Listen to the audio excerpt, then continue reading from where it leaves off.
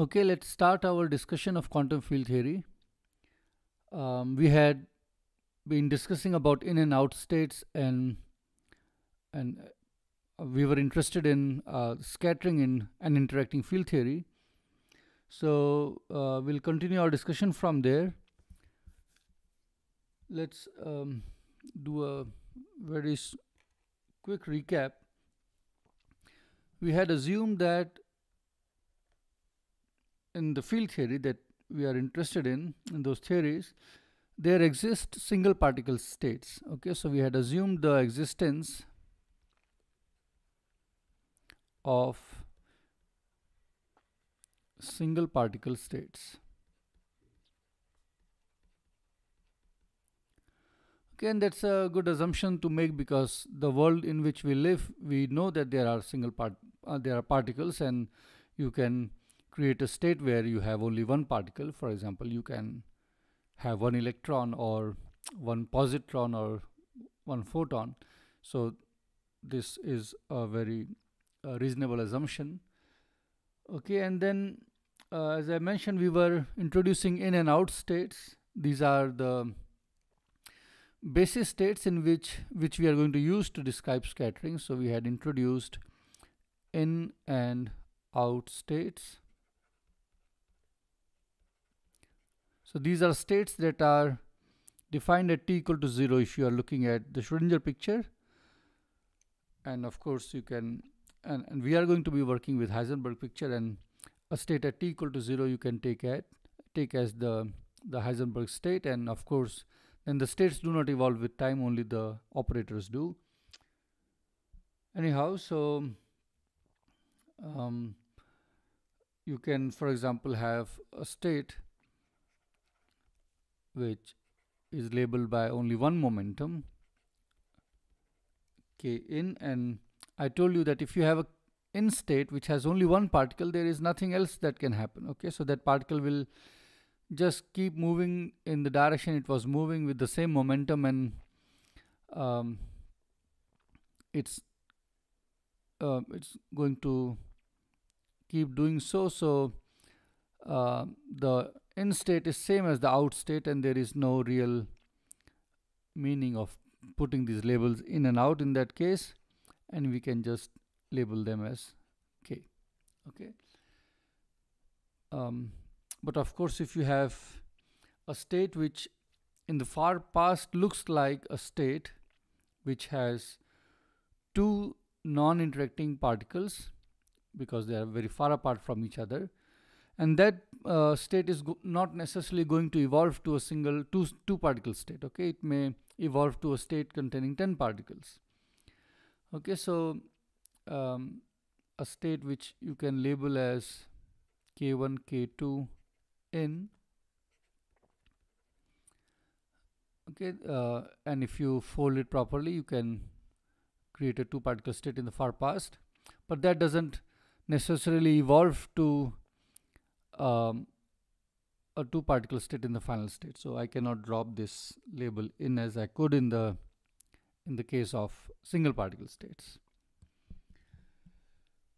Okay, um, my plan is that in this lecture I'm not going to write a lot of equations. I mean there will be but not too many and I don't want to do a lot of algebra because I would like you to have a a picture of what we are going to do so that once I start being more accurate with um, the descri description of states and everything, you already have a mental picture of what you're doing and you're not drowning in the in the equations.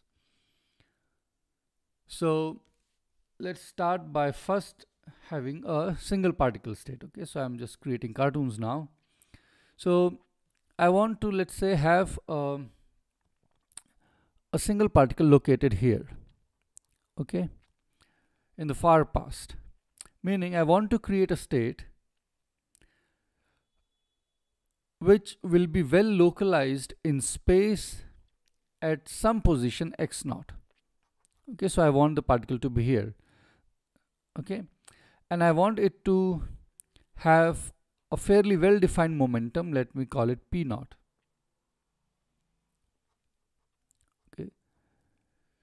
so of course um, because we are uh, doing quantum mechanics we cannot have a very I mean we cannot have the momentum exactly to be p naught and position exactly to be x naught. That's not possible because of Heisenberg uncertainty principle. But you could choose it to make as um, um, as sharp as you want in P naught and then um, correspondingly it will be uh, your uncertainty principle will tell you how sharp you can make it in x naught. But you know you can fairly localize the particle both in space and momentum. Now after all when you are uh, for example when you are preparing a um, an electron that is going to run in some collider okay like, like LEP there was a machine called LEP where now LHC is housed. So there you used to have electron positron collisions okay? So you know with what momentum you are firing the electron and uh, from which place it is coming out. So at that point where when it is coming out of the electron gun let me call it an electron gun uh, its momentum and position are fairly well defined. So you can create those states okay now this state is well localized in space and momentum in far past. And as time progresses okay so along the horizontal line you should imagine time.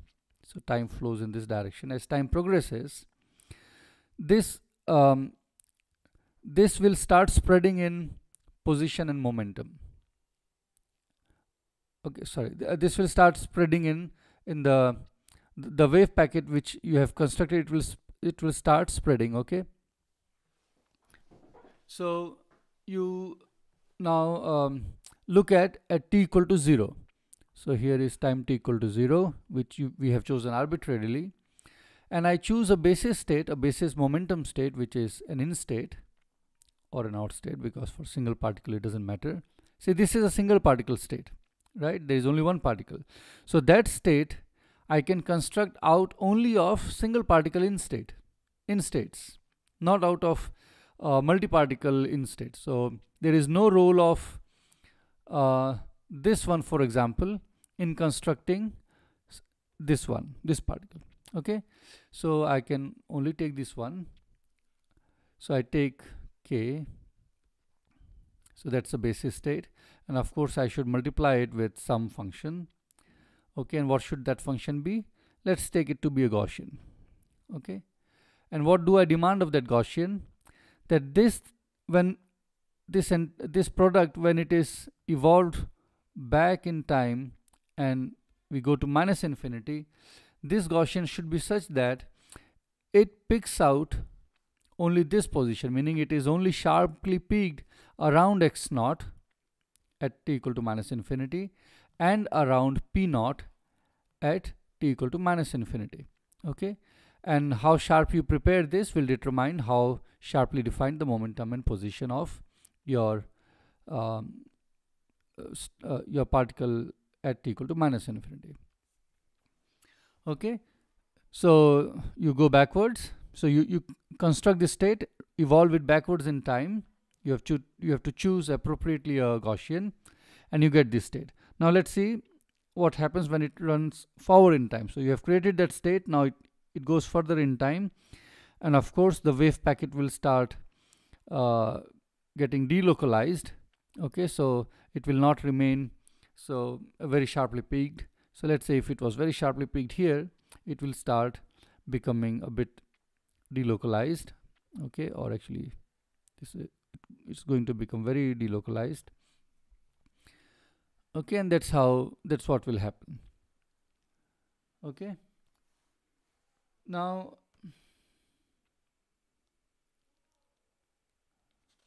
okay.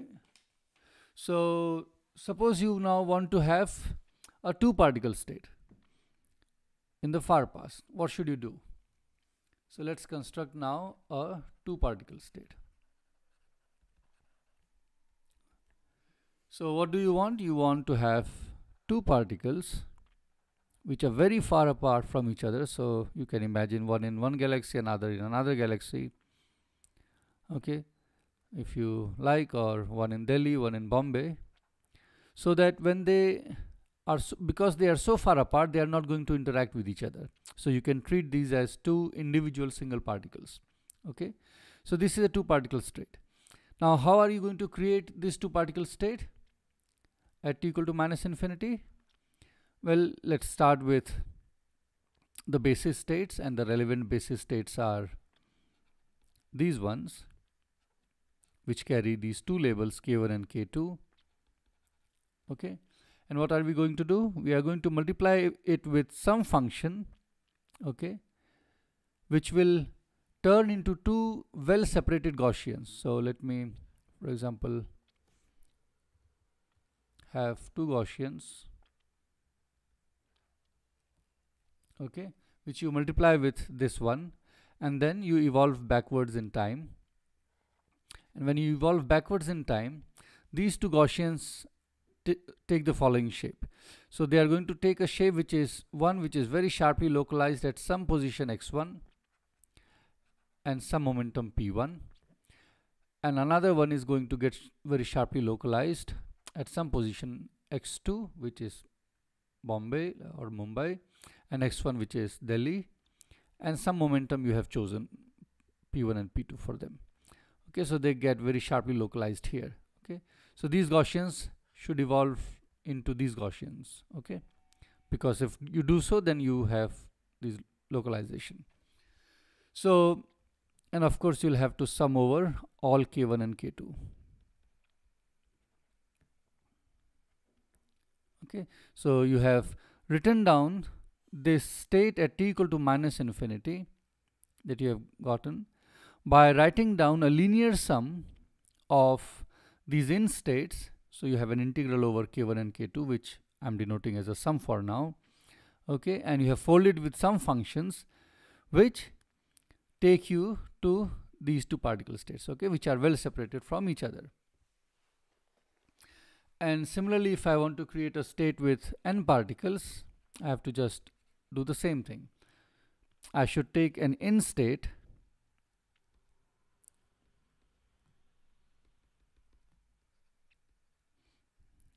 actually all possible in states and I should multiply with some function which will let's take it as Gaussians which will which will give you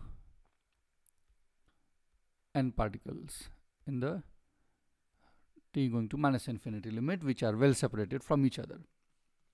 Okay and of course you have to sum over all k1 to kn. Okay so this this is a linear sum of these uh, basis states. I should put an n and you appropriately multiply with them with some functions which are called folding functions. Typically you take them to be Gaussian okay? So that you are able to create such a state at t equal to minus infinity. And this is written at t equal to 0 these states are defined at t equal to 0 okay? So um, that's how you are going to construct these states. I will write down the explicit expressions uh, later. And in fact we will turn these uh, Gaussians to delta functions in the far past. Okay? But uh, that's something for later but I hope the picture is clear how you are going to use the in states to create states which look like uh, particles which are not interacting in the far past. And similarly you can use out states to create particles which are not interacting and far apart from each other in the far future okay? All you have to do is replace the in states by out states. Okay so that's um, how you create these states now let's first um, understand a little bit more clearly what I mean by a particle so you already have a, a notion of what a particle is. You, you have a feeling of what you mean by a particle, okay? But when you are doing this quantum field theory, you are doing these calculations, how are you go going to identify that a given state is a, a uh, is a single particle state or not, whether it corresponds to a particle or not? Okay, and that's what I want to again emphasize. I have already told this in the previous course but let me repeat it. Um, so suppose you are given some state. Let me write here a single particle or what we really mean by a particle. So suppose you are given some state in the theory which you are working with okay whatever theory you like some interacting theory. Now I'm not going to write something inside right now because I want to leave it like this. So this correspond this is some state in your theory. It's given to you. Now you want to know whether this state is a, is a particle or not so what should I do to determine whether this state correspond is a particle or not well if it's a particle and let's say it's in some momentum eigenstate okay so I'm, I'm thinking of a particle which is uh, having a precise momentum. So it is delocalized in space, but it is having a precise momentum. Okay. So if I want to create such a, if I want to, uh, if I take this state and operate on this with the momentum operator, you know, we have already in the previous course learned how to obtain the conserved quantities. For example, the momentum or the Hamiltonian or the p mu which is just h comma p. So let's take the momentum operator and act on this state. Okay, and suppose I get the following. Suppose I get this. Okay, meaning it returns a value k. So it's an eigenstate of momentum. Okay, so it means that I can label it, label the state with k. That's a good label. So I'll now supply that label which I was not putting earlier okay so that's good now let me take the Hamiltonian and act on the same state let's say I get the following I get some number so this state I am assuming that it's also a it's a state of both momentum and energy so I get k for the momentum and I get some number which I call or, or uh, some number which I call omega k. Okay, that's what I have gotten. Now what I do is I take case um, sorry, I take this omega k, square it, and subtract from it k square and try to find out what it is. Okay. Now if it so happens that what you get on the right hand side is a constant. So you can always change the value of k that you have. Okay, you can give it a boost, the value of k will change. So this k will change correspondingly when you find out the energy by acting with the Hamiltonian, the omega k will be different. Okay, and for each such, um, uh, for each of those different choices of k and omega k, you find out what's the difference of these two squares. And if it turns out to be some constant, then you say that this state k corresponds to a single particle state or that is what you're looking at is a single particle. And that constant is called the mass. Okay, let's call it mp square. That constant is the mass square. Okay, so energy square minus the momentum square, if it is a constant, we call that constant uh, as the square root of mass okay and that's how um, you identify that a given state is a single particle state or not okay so this is the dispersion relation you already know. This is the relativistic dispersion relation.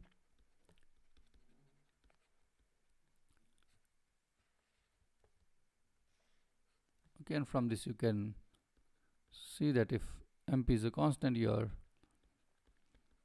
omega k or the energy is always going to be this. Okay um, so good.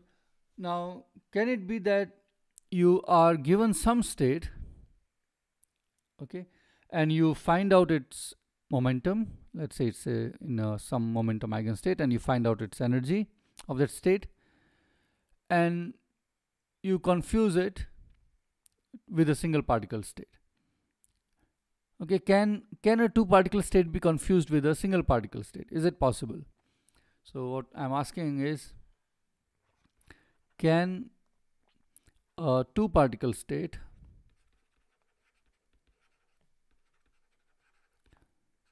Be identified as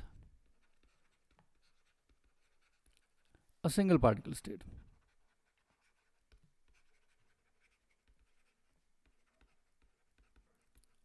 So let's look at t equal to minus infinity and suppose I have created two particles which are far apart and let's say this one has momentum p1 this one has momentum p2 okay and this one will have also some energy omega 1 omega p1 and this will have some energy omega p2 okay so let me label this state for now as p1 p2 that's the state. Okay i'm not saying this one is p1 that particle number 1 has momentum p1 particle number has momentum particle number 2 has momentum p2 i'm saying. One of them has momentum p1 one of them has another one has momentum p2 because these are indistinguishable indistinguishable i cannot uh, tell which one is which. But anyway i have two particles and note that i'm not putting in here because that's uh, state at equal to minus infinity. Okay. So I take a two particle state and act with the momentum operator. Well I will get the following.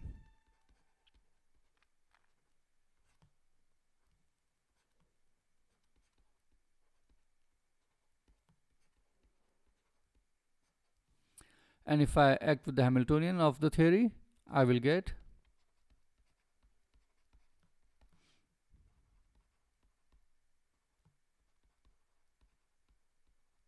omegas are just the energies of these individual particles. Okay, that's what you are going to get. Now, you might think that, okay, there is some momentum, some energy. So maybe I can think of this also as a as one particle, which is having total momentum P1 plus P2 and total energy omega P1 plus P2. Okay. Now let's see whether we can do that. So what how did we define that um, how did we tell that something is a single particle? What you have to do is take the energy of that state square it and from that subtract the momentum of that state square uh, the moment the square of the momentum of that state. And if that difference is a constant meaning independent of the values of p1 and p2 you take or k here you take okay then that's a single particle state. So let's check whether omega p1 plus omega p2 that's the energy of that state right? That that sum. So square that minus the momentum of the state is p1 plus p2 square that and ask whether this is a constant if it is a constant then of course yes then you can identify it as a as a particle as a single particle. But it I leave it as an exercise to you to show that right hand side is not a constant.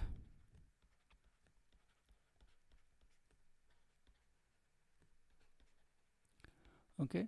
So thus you cannot think of this state as a single particle state. You cannot assign a mass to such a state so what I'm saying is this state cannot assign a mass.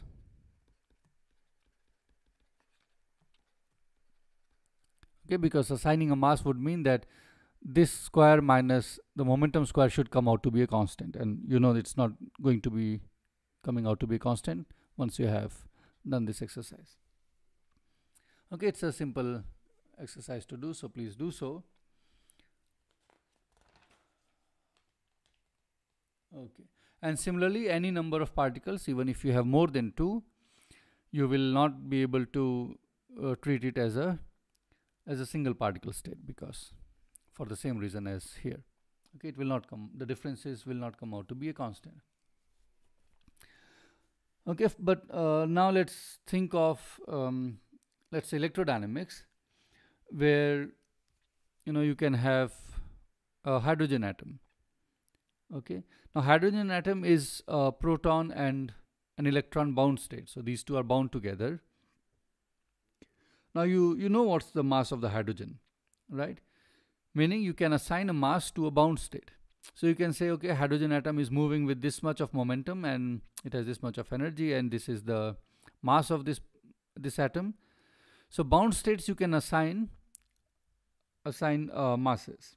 And also note that a bound state, um, so let me write it down. So bound state, the bound state you can assign a mass. We can do that.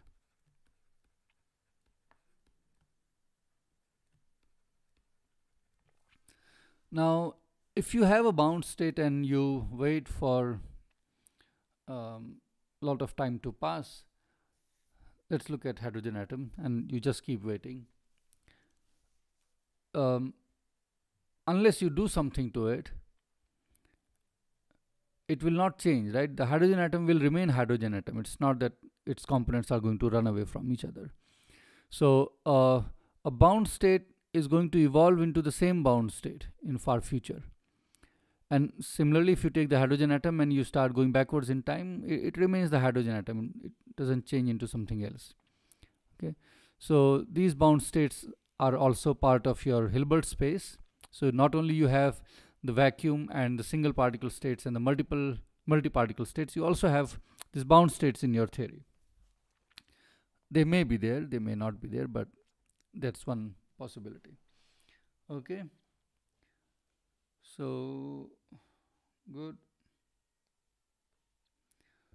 and I'm not sure whether I said but it should be clear that once you assume that there exists single particle states okay it's automatic that you also have multiple particle states in your theory right? Because if you are able to create a particle at some place one particle at some place nothing will prevent you from creating another particle far away from it right? Because your theories are local and they do not uh, prohibit uh, from doing something far away from the first particle okay so these two particle two particle states can be created once you assume that single particle states can exist in your theory okay so existence of multiple particle states is not a independent assumption it's it is a consequence of your assumption that single particle states exist. Okay, so what are all the states in your Hilbert space? From based on our physical intuition. And we we realize that of course we have vacuum. Then we have single particle states. Then we can also have multi-particle states. Then of course we can also have bound states. And these are all the states that are um, that are there in your in the Hilbert space. Okay? So um, let me do one small thing. You remember long back somewhere here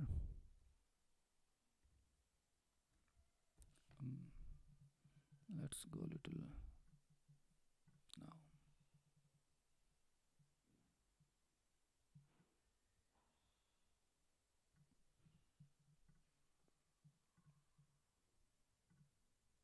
yeah you see I had written down the completeness relation that these out states and in states satisfy it just means that any out state can be written as a or any state can be written as a linear combination of out states or in states.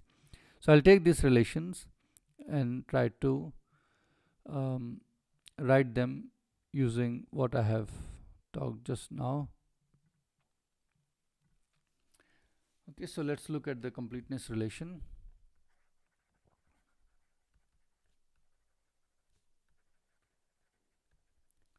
which was alpha n alpha n and if you sum over all this alphas you get identity okay and similarly if you take all the states beta out and form this combination then you get all the uh, then you get identity if you sum over all the out states. Okay? And remember alpha is not necessarily discrete. It could be continuous. And actually you know because there are single particle states so they, these labels are also continuous. So let's take this identity and let's um, let's write doesn't matter which one it's identical. So let's identity is so let's take this. What are all possible states? I have already labeled them here. So first is vacuum. So let's write down vacuum. Okay I will use omega for interacting theory vacuum and 0 for free theory vacuum. So that's one state of course. Plus you have single particle states. So k in and k out. So let's write down k in. Okay we are looking at in in uh, this relation. And you have to sum over all k's.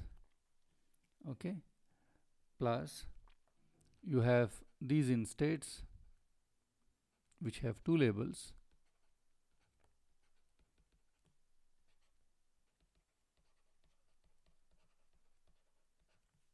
and of course I have to sum over all k1 and k2 and because k1 and k2 are continuous labels we really have to integrate but I'll keep it as a sum. And then of course you have all other multi-particle states. Sorry all other states which have more than two labels which correspond to the states that in um, that you can with which you can construct uh, multiple particle states. So I will loosely call it multi-particle states. Okay. But you understand what I mean that you can fold it with appropriate function and evolve backwards in time and that will give you a multi-particle state at t equal to minus infinity. Okay. So uh, right now I'm just being a bit a bit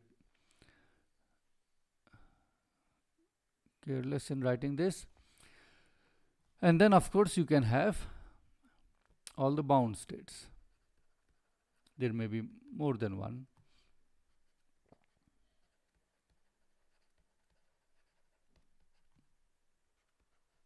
Okay so that's how this identity is made up. So now let's um, make this more precise at least up to here. So of course as I said this in is unnecessary. There is no requirement of this in label because there is no distinction between in out. So you can just drop these labels.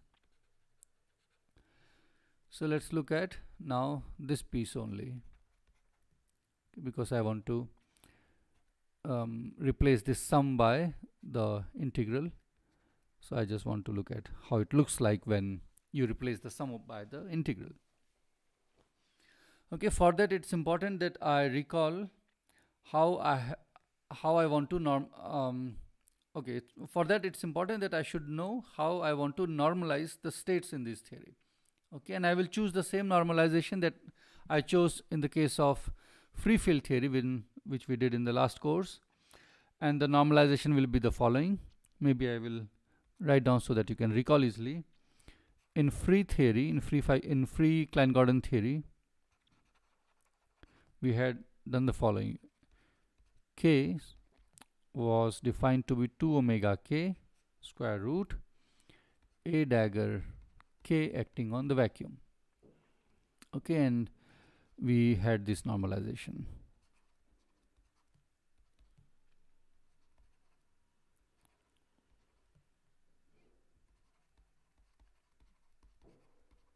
Okay you can replace this p by k because this delta function um, it can change the p to it doesn't matter right? Whether you have p or k because of this delta function. Because this delta function ensures that k is equal to p otherwise you don't get any contribution. So this is what we had in free theory. So what we'll do is we'll choose the same normalization of states like this one in this case also. Okay, so I will choose a normalization of states in this theory. We will normalize the states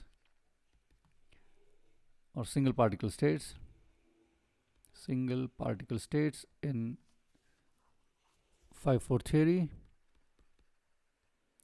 to be uh, phi 4 theory as the following it will be again the same.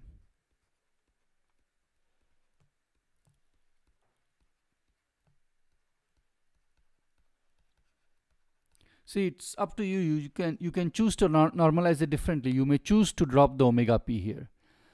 Okay that's a normalization that you can take. Okay and it will not affect anything if you are consistent with all the calculations that you do but we choose this normalization and it's a nice normalization because the right hand side is Lorentz invariant okay so that's an exercise for you show that uh, RHS right hand side is a Lorentz invariant object.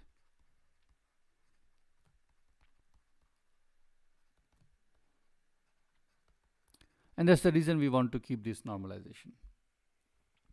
Meaning if you were to take the state and um, boost it, so if you boost all the states by some uh, some amount, so the state k will become the label will change to some k prime p will change to some p prime because the momenta will change. But the new states that you get their inner products will still be the same because this factor on the right hand side is not going to change. Okay? And that's what you have to show that this is Lorentz invariant so we'll keep this normalization. And um, now let's see with this how do I write this piece? So if you have a single particle state of some momentum p or let's say um, yeah p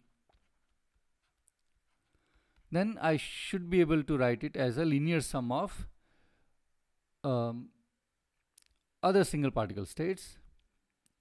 And of course it will it will um, pick out the delta okay let me say it again. So let's say I want to write this P as the following. So I, P I write as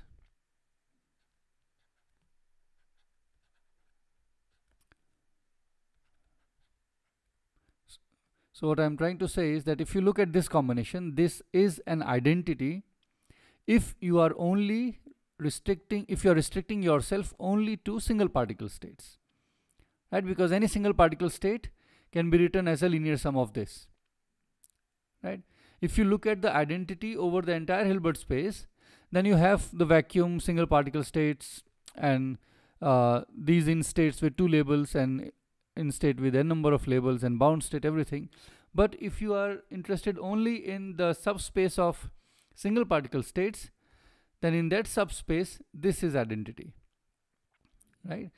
So now let's construct this. So this is identity and I want to write ket p so ket p is this. Okay so this is a correct equation. Now what I want to do is I want to remove the sigma and have the appropriate integral okay? So that's what I'm trying to do now so I'll use our so I'll keep sigma for a while. So I'll use our normalization that we have chosen and that is 2 omega k or p whichever you like delta cube k minus p. And that's it. This I can write as sigma. This because of this delta function k is forced to be p so I will put this k to be p and you have um, I can write it here 2 omega k delta cube k minus p. Okay, so on the left hand side you have ket p, right hand side you have ket p.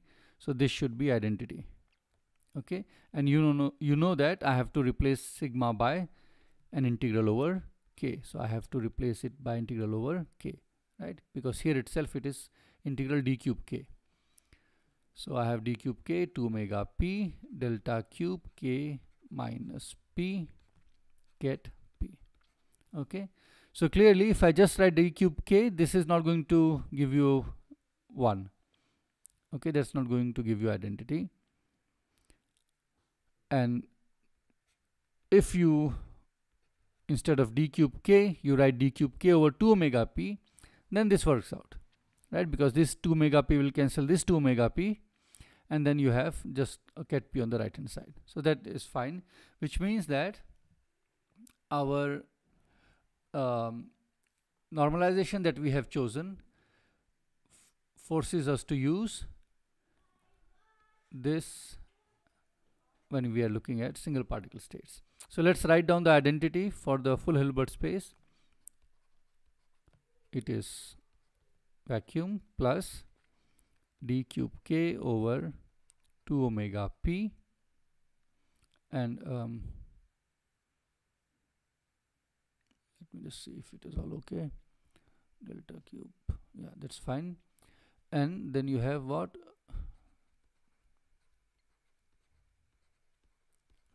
Plus of course bound states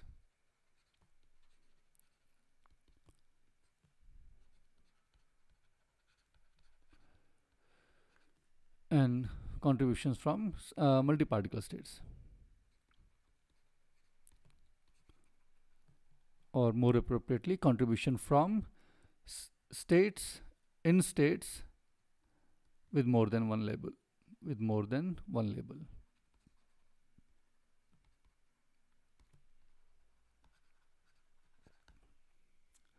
Okay. This is good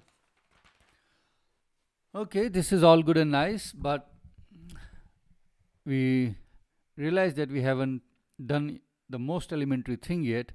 We haven't told how we are going to create a single particle state in an interacting theory. Right? I haven't told you how uh, how to create a single particle state in an interacting theory.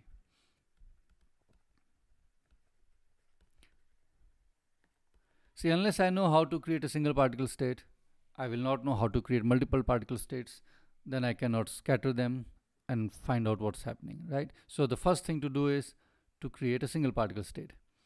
Now this um, is something which we'll do in the next lecture, but let's at least understand um, what we should be looking for. So let's go back to free theory. What we did there. Free theory. In free theory, in free Klein-Gordon theory, when I wanted to create a, a state with momentum k, all I had done was taken a dagger k and acting, acted on the vacuum okay apart from some normalization which is here okay that's what we did we hit with a dagger on the free vacuum. That's free theory. Okay or equivalently if I wanted to create a particle at position x I hit with phi. Okay uh, on the vacuum and I create a particle at x. Okay where this x without any vector symbol is this 4 vector. Okay so a dagger of course is something you can construct out of phi's and pi's because after all what do you have in your theory? You have the operators phi's and pi's where pi is the phi dot okay or the con conjugate uh, operator conjugate to phi. These are the two operators that you have and everything has to be constructed out of these. There is nothing else right? And you have the vacuum. So you hit on the vacuum with phi you create a single particle state. That's what we saw in free theory or if you want to create a state which is of a definite momentum then you hit with some combination of phi's and pi's which is what we call a dagger and create that state so you might think that okay we can just hit with the phi of interacting theory on the interacting vacuum and create a single particle state. But that's not going to work, okay, because the reason all this all these things worked here, why we could define an A dagger and why this created a single particle state was because we were in the harmonic paradigm, okay, we were working in harmonic approximation, meaning the action that we had was a quadratic action in the fields, okay. So here it worked. The reason this method worked was this method worked because uh, of harmonic approximation. Okay, meaning we were having only only quadratic terms in the action.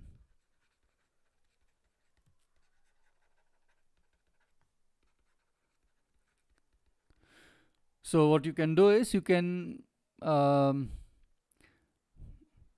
try to repeat the steps which we did in the in the free theory where you had only quadratic terms okay and uh, see that it doesn't work. You are unable to uh, get anything out of it. Meaning if you in addition to having your uh, free Klein Gordon uh, action you also have the phi 4 term or any other interacting term the steps will not um, yield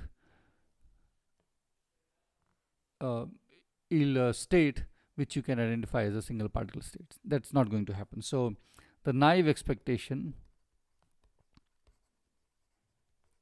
that phi, this is interacting theory phi, phi of, um, let's write t comma x, acting on interacting vacuum, it's not going to give you a single particle state. Okay it doesn't work. But still you know that if you want to create a particle all that you have is phi and pi right? Those, those are the operators in your theory and you have vacuum and hitting on the vacuum you are going to create a particle. So somehow it still has to work okay? Even though i'm saying it's not going to work but there is not much that can happen. It still has to work and that's what i will show you. Um, how to construct single particle states in interacting theory.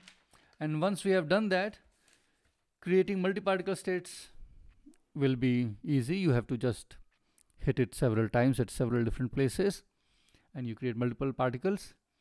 And then you can let them evolve in time and scatter them and we can try to ask uh, what do we get when these things scatter? Okay so i think the question is clear what we want to do now. And I will show you in the next um, lecture how to do these things. Okay.